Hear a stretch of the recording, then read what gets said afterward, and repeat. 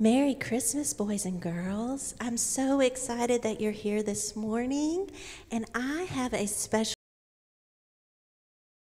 and it is called The Newborn King. Have y'all heard of this one before? No? Well, good. This is the story of the birth of Jesus as told in the second chapter of Luke in the New Testament.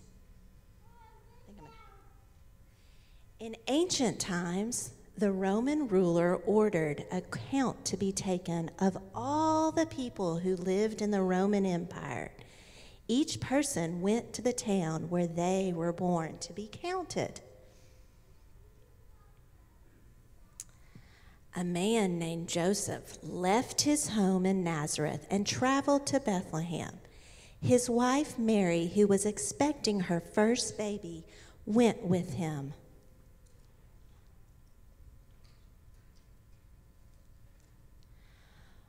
While they were in Bethlehem, Mary gave birth to a baby boy. They were staying in a stable because there was no rooms left for them to rent. Mary wrapped the baby in a soft blanket and placed him on the straw in the manger. Outside of the city, shepherds were sleeping in the field so they could protect their flocks of sheep. God sent an angel to tell the shepherds the great news, but the angel was shining so brightly that the shepherds were afraid.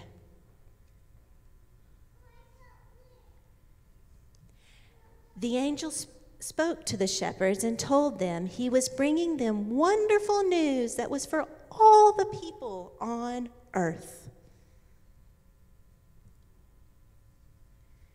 Today, in the town of David, a Savior has been born to you. He is Christ the Lord. This will be a sign to you. You will find a baby wrapped in cloth and lying in a manger. Suddenly, more angels appeared, and they were all praising God and saying, Glory to God in heaven, and on earth, peace to all men who believe in him.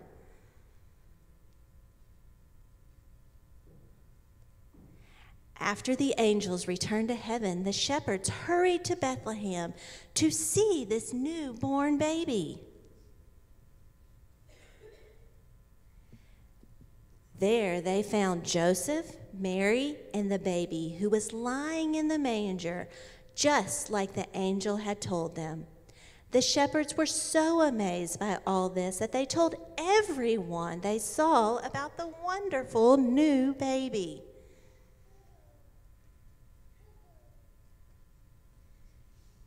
Mary was happy.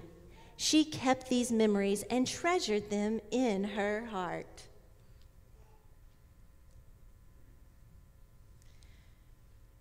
Returning to the fields, the shepherds were happy and praising God for all the wonderful things they have heard and seen. This special event is the reason we celebrate Christmas. So, as we go through today, and as you think about it, we hear this story of why we celebrate Christmas and that baby that was born for us. So, let's pray as we go back to our seats in just a minute. Dear God, thank you for these boys and girls that are here celebrating who you are. Thank you for the reason and the baby that was born, and we celebrate his birth today. Thank you for giving us all this time and bringing us all back together and being able here to know that a baby was born for us. In Jesus' name we pray. Amen.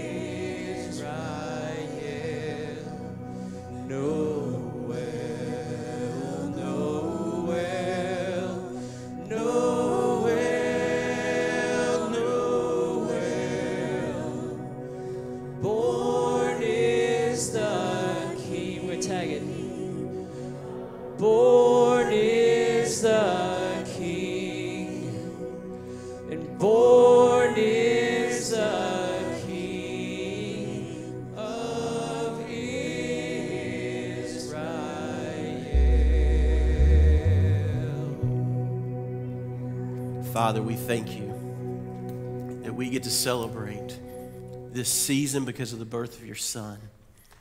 And I pray, Father, that over the next few moments as we spend time together into your word, that you just simply just guide the time together. That you would allow us just to reflect upon the manger and the cross at the same time as they are ever together, bringing forth the promise of redemption. And so, Father, just speak to us today in Jesus' name. Amen. As you're being seated, I just encourage you and invite you, if, if you will turn your Bibles to Luke chapter 2 this morning. Luke chapter 2. As you do so, again, just a couple things. If you don't have a candle, just kind of get the attention of one of our deacons, they'll do that. Or if you don't have communion, you'll need that uh, toward the end today. Uh, we can get that for you as well.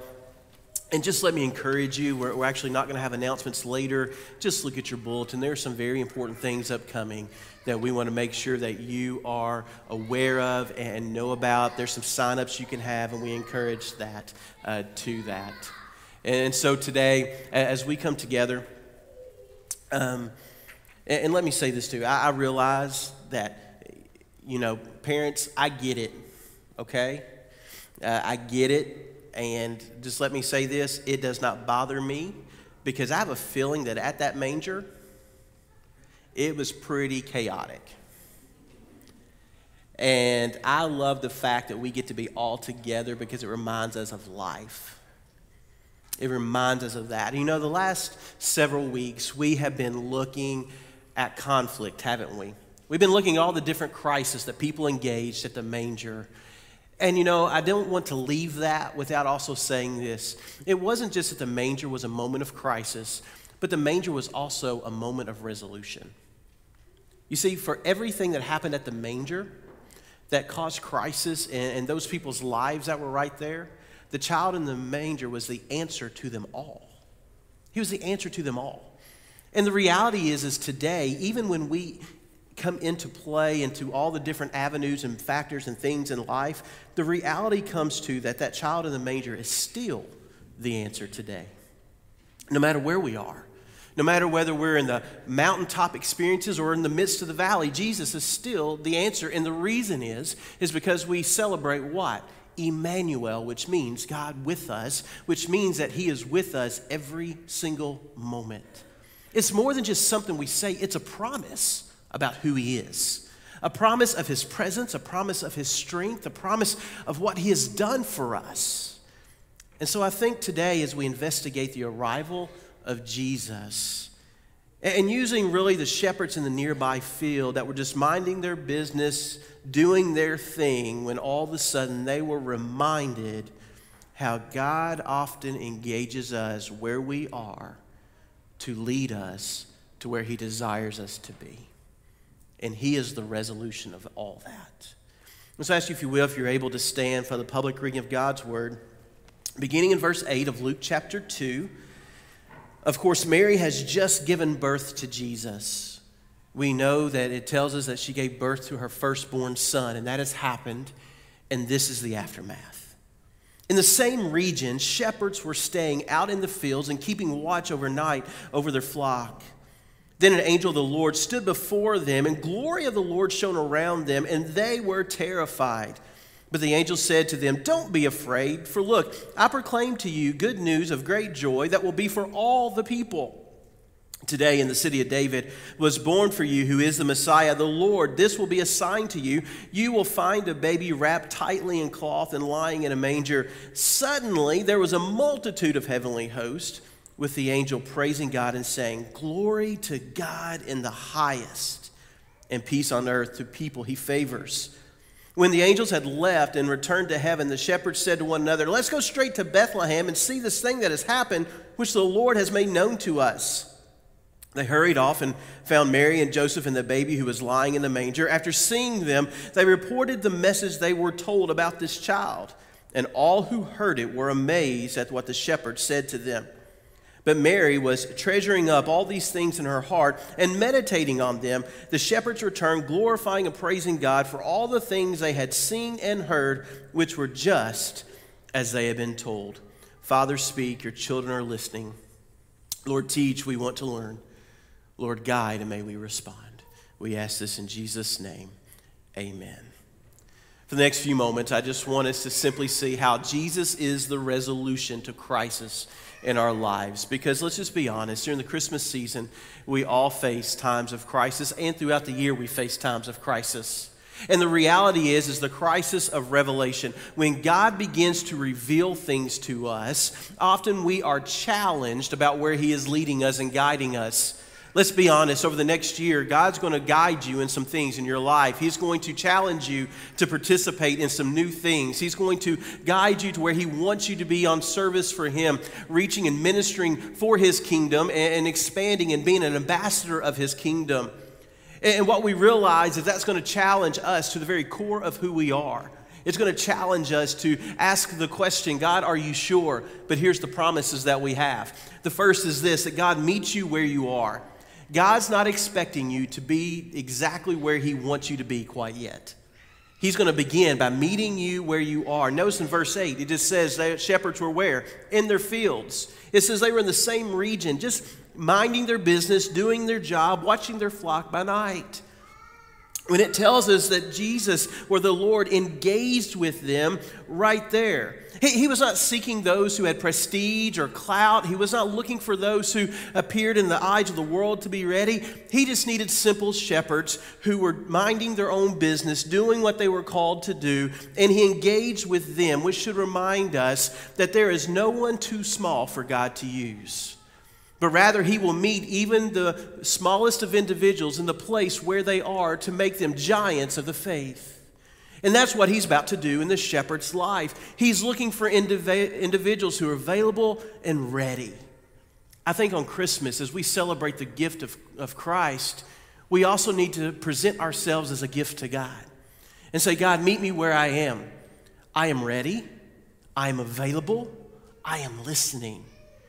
I may not have all the answers, I may not have all the ability, but what I have is yours.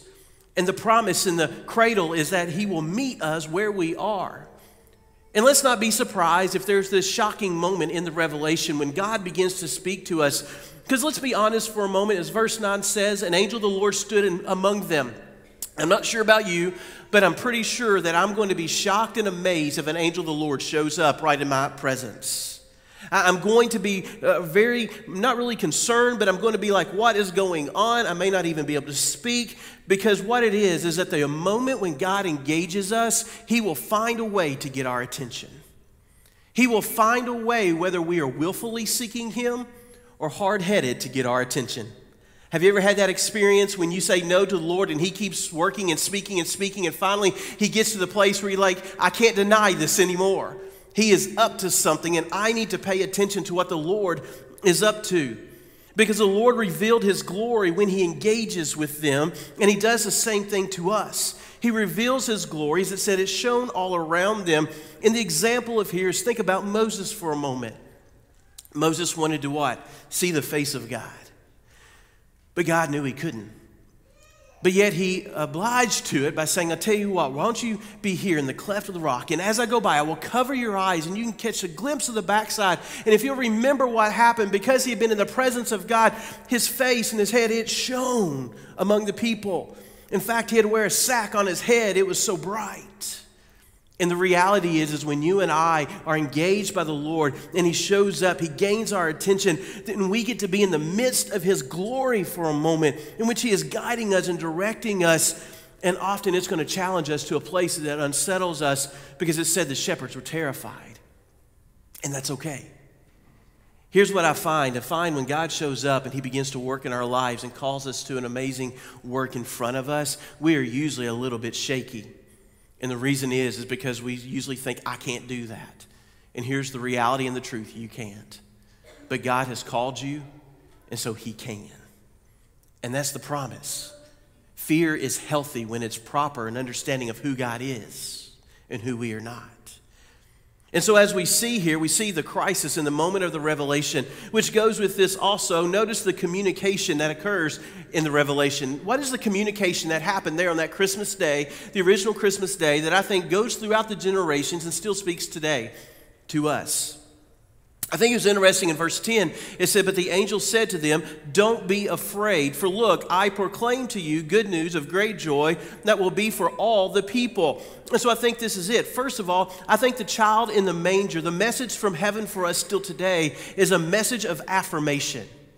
He affirms some things. He affirms when he says, Don't be afraid, is the affirmation of provided assurance of the coming message. When he tells us, don't be afraid, it's an affirmation of, hey, what I'm about to tell you is okay. It's a comfort of, don't be scared, it's all right. I often think about it as a parent speaking to their child who is hesitant, saying, hey, it's okay, don't be afraid. Don't be scared, it's going to be okay. And it's as if the Father is speaking us, saying, It's going to be okay. I'm up to something, and you may not understand it yet, but if you'll just trust me, I've got you. And that's the reason he says, For look, it's the call of affirmation that the child in the manger should call us to search and to see what God desires in our life. You see, during this Christmas season, we should be reminded that God not only desires us to know Him through Jesus as Lord and Savior and the gift of life, but when we have entered that, he also has affirmation for us that He has something in store for us that is far greater than we could ever imagine. And Christmas gives us a reason to recognize that. A reminder to realize don't be afraid, but, but look and see what God is up to. Because in it, He provides a message of confirmation. So he gives affirmation, but he gives confirmation. He says, I proclaim to you good news of great joy that will be for all the people. The messenger proclaimed a message of, of confirmation that the Lord was up to something far greater than they could understand. And here's what it is it's good news. But what is the good news? The good news is the Messiah, the Savior, the one, the sacrificial lamb has come. And he has come with the cross in his mind. He has come to pay the price that we deserve. The good news is that the Messiah has come, will do what we need, and invites us to the victor spoils of eternal life. The amazing part is that the good news is that there is hope for the hopeless, that there is peace that passes understanding, that, that there is a love that is far greater than we could ever imagine. And that the reality is, is this promotes us to this moment of great joy because the receiving of good news brings great joy. Have you ever seen someone receive Christ and they care less? I mean, really, let's think about it. Have you ever seen anyone say yes to Jesus and they're like, eh, big deal? Usually, It's what? Celebration. It's excitement. We rejoice. People are, are extremely just ready to, to, to storm hell with a water pistol, basically, aren't they? They don't care. They want everyone to know they're excited, they're celebrating. It's because good news always leads to great joy. And the great joy comes because it's genuine, because of the presence of the good news. You see, joy occurs due to the changed state of one's life once we have entered a relationship with Jesus. That's when you truly can say, Joy to the world. Because we declare the message of hope that offers the only available, genuine, needed joy. And notice what it says it's for all people. Folks, I think we overlook that often in the manger. Let's be honest, I think if we just speak to it clearly, we can all be guilty of the holy huddle. You know what the holy huddle is, don't you? The holy huddle is when we gather with other believers and celebrate or worship together with no intention of breaking the huddle. But the amazing part is the Messiah came not just for a few, but he came as an invitation and a gift offering for all. And as a result, yes, we celebrate in that holy huddle, but we break the huddle to make sure the world knows of the good news that brings great joy because it is inclusive, which means the message must be declared to all people of all nations, of all tongues, to invite them to respond to Jesus as Lord and Savior. But it is exclusive at the same time because it is not whatever you believe, but it is the belief in that child in the manger. There's no other way except Jesus. But He has made the way that all have the opportunity. It is a message of confirmation. It's a message that leads to joy because it's a message of declaration, as it sees in verse 11 and 12. It says, Today in the city of David, a Savior was born who is the Messiah, the Lord. This will be a sign to you. You will find a baby wrapped tightly in cloth, lying in a manger. Notice it says today. Today. Don't overlook that word. Today means right now. It means the time to respond is now. It means that there is urgency to go see this child in the manger. There is urgency to go engage with Jesus. There is urgency because delay is not an option. The idea is go today because a Savior, one who rescues, one who is your deliverer, one who is your um, perseverer, the one who will preserve you, is born. He is the truth. He is the Savior. He's the deliverer. He desires you to follow, and He's done it for you. Notice the urgency is today. He was born for you. And folks, today, not only was he born for you, he died for you and he rose for you and he offered you the gift of eternal life. And today is the day of urgency. And why is this? Well, because he is the Messiah, the Lord. It tells us that. Who is the Messiah, the Lord, which means what? He is the anointed one of God who comes to save. It is if he has been rubbed and, and, you, and, and ready and used as the ointment that sin has caused the pain upon us, and he offers the only healing ointment that is available to us. That is the concept here in Messiah. And as Lord, it means that when we allow Him to heal us, a relationship, that we provide Him dominance and rule and control in our lives. And this drives us to the next message of adoration because when we are healed, we celebrate. We celebrate. What do we celebrate? Well, it says suddenly a multitude of heavenly hosts with the angel praising God and saying, Glory to God in the highest heaven and peace on earth to people he favors. Uh, three, note three things quickly praising God. The heavens rejoice, don't they? The heavens celebrate. Listen, if heaven can celebrate, we better. If heaven can celebrate, we have a model. And so we celebrate praising God in the highest. And this is the recognition of the ultimate position of the Lord. When we sing glory to God in the highest, we're saying, I am elevating God to the very most prominent place in everything.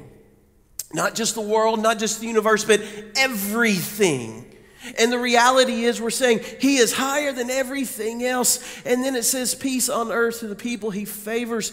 Peace here is not the ceasing of conflict, but it is actually completeness. That means to the people he favors, the people that respond to him, the people who are his children, he brings completeness. And as a result, there's a message of an invitation. When the shepherds had left and returned, it says in 15, the shepherds said to one another, I just love that moment. It says, Let us go straight, right? We'll see that in a moment. But notice something. The invitation by the angels was an invitation to join the work of the Lord. Notice that the invitation was the declaration of the birth of Christ, the glory uh, of, of God is being manifested. And their response is hey, we're invited to join this. We're invited to do something with this. We're invited to join whatever the angels were talking about. The conclusion of the message was an open ended call to respond to Jesus. And the child in the manger is an open ended invitation to respond to the child in the manger named Jesus as Savior. It's an invitation to get on board with the work of God, into uh, get on board and living in the Word of God. It's a place in which we say we get into the invitation and get on board and with Jesus as our Lord and our Savior. Because when we hear the invitation, we have to do something with it, and that's the commencement in responding to the revelation. There's this commencement, there's this moment of something new starting and something ending. It's the idea of a beginning and an end at the same time. It says, let's go straight to Bethlehem in verse 15. The shepherds modeled something. They modeled that when we respond to Jesus, it must be immediate. They did not delay. They did not say, well, let's wait and see if what the message of the Lord said is true. They rather said, let's go see what he's doing. They, they did not say, let us attempt to form the, the perfect time of obedience or, or plan every details of our journey. They just said, I don't know what the next thing holds, but we're on our way. And they're heading to a place in which there's knowing that they're going to be led to. And so they did not get detoured. They didn't make stops along the way. They didn't take the long way there. They found the shortest route and they went. How do we know that they didn't delay? Well, it says they departed with haste in some places. They went immediately. They went with obedience. They went with the desire to engage with the Lord. And why is that? Well, it says in verse 15 at the end, see what has happened, which the Lord has made known to us. They had a desire to see the God at work. Do you desire to see God at work this morning? I mean, really, do you desire to see God at work? All of us here this morning have probably had some experiences already this morning with, with family around a tree, or you will have that later today. And that, those are glorious times. But on December the 26th, or, the day after you have your last gathering, are you still celebrating Jesus, desiring to see him work? You see, the desire about the child in the manger is not one moment in, the, in a year, but rather should be every day a deepened desire in which we say, I want to see where He's at work. I want to see God doing what only God can do. And I want to make sure that His, that his priority in my life, that His desire for my life is what is dominating me. The shepherds look and they have responsibility. They have responsibility to take care of the sheep. They're out in the fields. They have responsibility to the people that may be paying them to do so. But dominant over that was no, we have to see what God is up to. Because there is a moment of response to God's work. It said, after seeing this, they reported the message. This is verse 17. And now what's happened is they've seen Jesus. And so, after seeing them, it says, as the shepherds see the evidence of God's declaration, the evidence of God's work, there's only one thing they could do is they responded by celebrating with the child in the manger, but they also responded by telling the world about the child in the manger. You see, what we have to recognize is the moment of response is when we say, Lord, I believe that the word has come from you. It's when we say, Lord, I believe that the word has come about the Messiah. I believe that the word has led us to this moment of responding to you. And as a result, there is a change in their life because there is a different return than the way they came. They came in response to God's invitation. They left declaring the greatness of God. They came at the invitation of God. They left doing the work of God. And what we mean by this is it says the shepherds returned. They went back to the fields to resume watching their flocks. That's what they did. But the return was different because of the change, what happened when they met Jesus. When you have met the child in the manger, is there a difference in your return? You cannot meet Jesus without a different return because he alters everything we are. When they returned, they were glorifying and praising God because when you and I engage Jesus, there is one thing that we are just driven to do, and that's celebrate. That's celebrate. If you don't like to worship and celebrate and praise, you're probably not going to like heaven that much.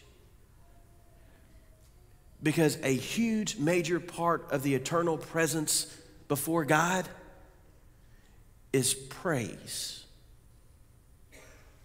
rejoicing, celebration. By the way, we practice here what will be perfected there. And how beautiful that is. Because they had to tell what had been told. They had to tell it. And we've looked at this earlier in the month, but the personal response to the revelation was Mary as she stored these things in her heart and meditated on them.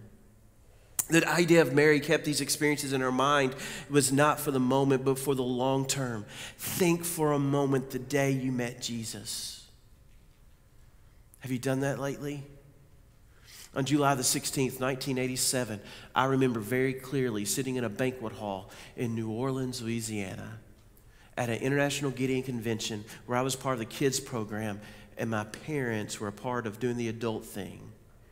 And I remember at that banquet, someone shared from Psalm 73 24, and it said, You will guide me with your counsel and afterwards receive me to glory. And they went on to talk about what it means to be a child of God and for Him to guide you with counsel and the promise of being received into glory. And it was at that moment I recognized my need for a Savior and I have to stop at moments and reflect on that because I never want it to grow stale. Because once we meet Jesus and we treasure it in our heart, it alters our life forever. And in moments of difficulty, remember the moment of change. In moments of celebration, remember the moment of change. Remember when you met the child in the manger. Meditate on what it used to be and now what it is. Meditate as the word moves throughout you and you're growing in Christ, being transformed by the word. Because here's the reality every single one of us are born into darkness because every single one of us are plagued by sin. The Bible says it this way for all sin fall short of the glory of God. And later says, for the wages of the sin is death. But at Christmas, we celebrate the rest of that. But the gift of God is eternal life through Jesus Christ our Lord. And that is the resolution at Christmas. The resolution at Christmas. And if you have never come to that manger, if you have never come to that place, then Christmas is missing something for you. Because Christmas foreshadows something else. It foreshadows the cross. And you see, it would be about 33 years later, about 29 AD, when Jesus will hear the celebration of the crowds on a Sunday and hang on a cross on Friday. He will not be laid in a manger, but in a tomb, sealed so he cannot escape. But Sunday came. And when Sunday came, just like the impossible was possible at the child in the manger, the impossible became possible and the tomb opened up. And out from the tomb came Jesus.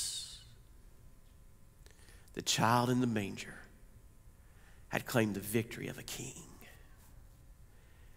But you know what? He didn't withhold that. He said, I want to offer it to everyone. So, why significant? Well, Jesus told us why it was significant and told us to remember it. And so, just a moment together as we're here, reflecting on the child in the manger who became the Savior on the cross, to the victor, divine warrior king who walked out of the tomb. On this Christmas day of 2022, I would invite you to join me as a moment of reflection. If you are a follower of Christ, we invite you to join us.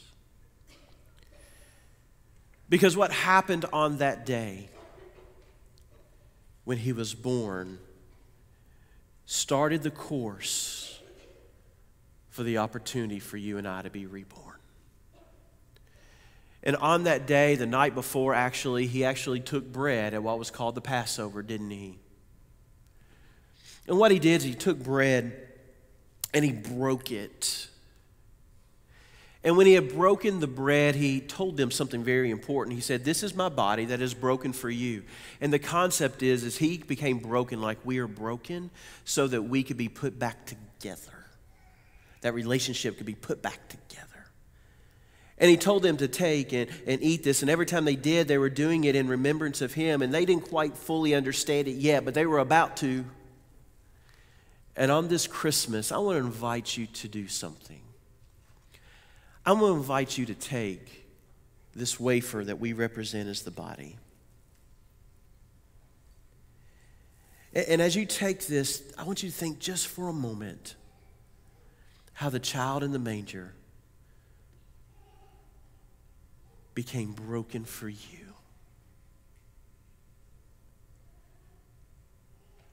Take, eat in remembrance of him.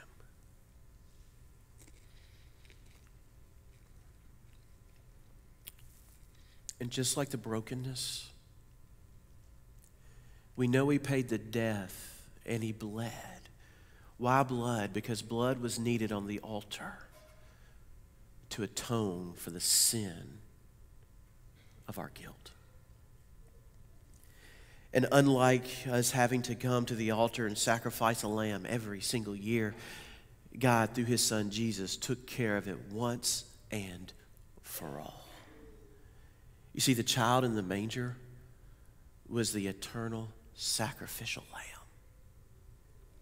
And at Christmas, we celebrate that he sent the sacrifice to pour out the needed blood offering that we could have life. And in this Christmas day, I invite you to follow the model that the early disciples and the early church took as Jesus took the cup and he said, This is the cup of the new covenant. He said, Do this in remembrance of me so that you can constantly remember the importance of the sacrifice.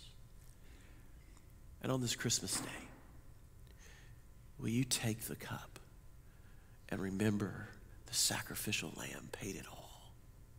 Take, drink.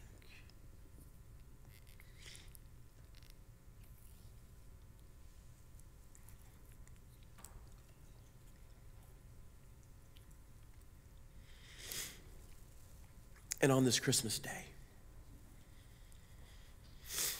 maybe you weren't able to partake because you've never come to meet the child in the manger, the sacrificial lamb that was born for you and died for you. And as the musicians are coming, I would ask these simple questions. If not, the child is in the manger. Will you make haste? Will today be the day of salvation? Let me tell you, the greatest Christmas gift you will ever open is Jesus. And what a day of celebration that will be. If you want to hear the church rejoice, then today is the day of salvation in Christ alone. Will you worship with the Lord today if you're a follower of Him because of His work? Will you meditate upon Him today in His word of promise? But will today be the day that you receive Jesus? Will today be the day you commit to obey Jesus? Will today be the day that you commit, even if you're already a follower, to, to make haste as He leads you and guides you?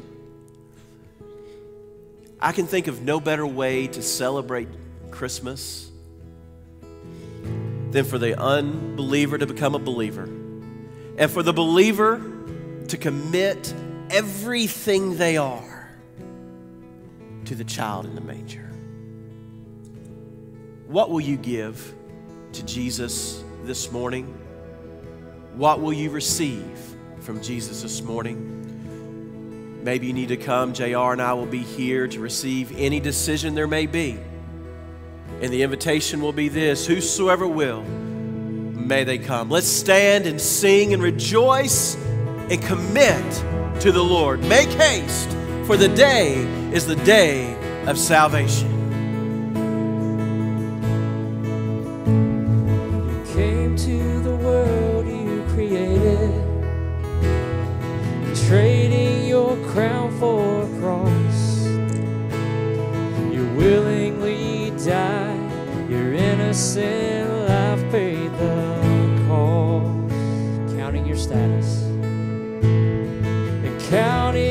status as nothing. The King of all kings came to serve. You're washing my feet, covering me with your love. If more of you, if more of you, it means less of me. Take everything. All of you is all I need. And take everything.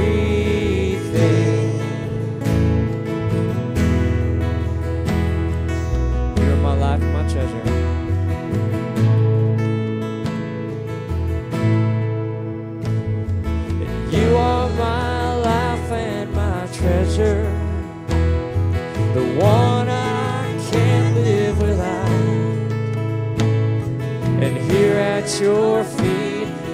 Desires and dreams I lay down. Let's sing that again.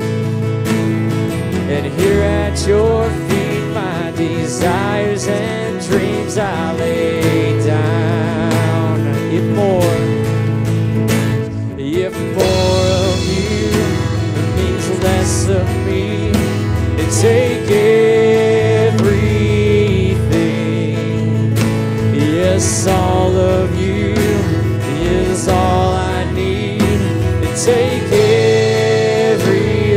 Chorus again. If more of you means less of me, and take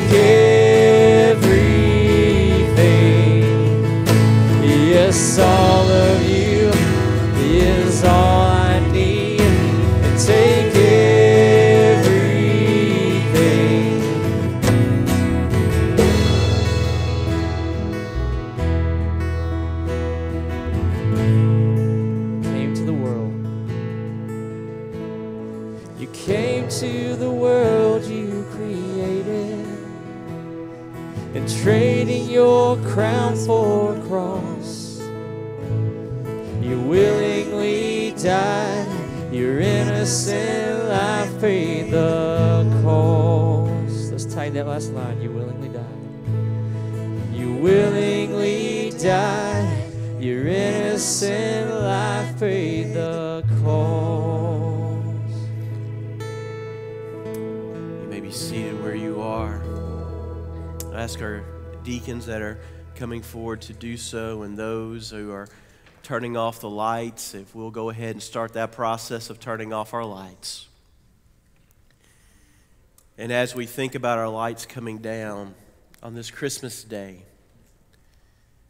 I want us to remember the importance that you and I play in what happened on that day. You see, earlier, just a few moments ago, we lit the Christ candle. And we saved the Christ candle until Christmas Day to remember that it was the light that came into the world. And when we think about that, when we receive Christ as Lord and Savior, something happens. And within us, all of a sudden, that darkness that is there disappears because we receive the light. And as we do that, we are to take that light and we are to pass it. And as we pass it to others, they begin to see the light of Christ in their life. And He begins to illuminate their life.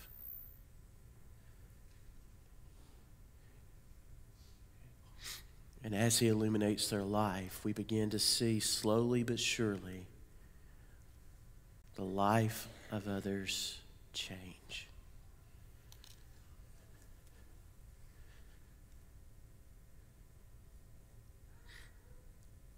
And what once was dark and held captive becomes a glorious light as the deacons come throughout and begin to light our candles, as they light the ones on the end, pass it down to the next, as we remember how we are to take the light and pass it to one another. See as the light travels, as it impacts the world. And on this Christmas day, as we celebrate this change, as the candles are being lit,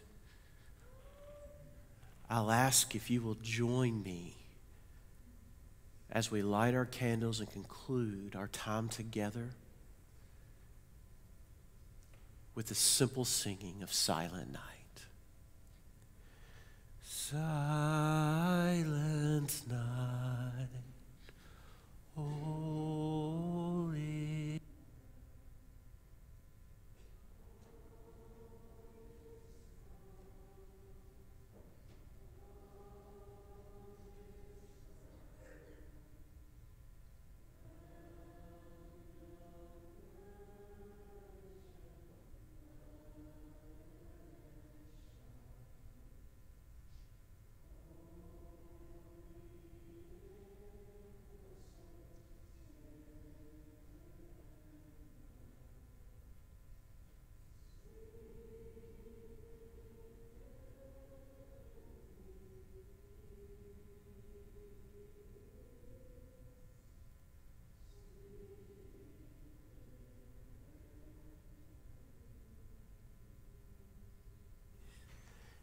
of God's people said, Amen.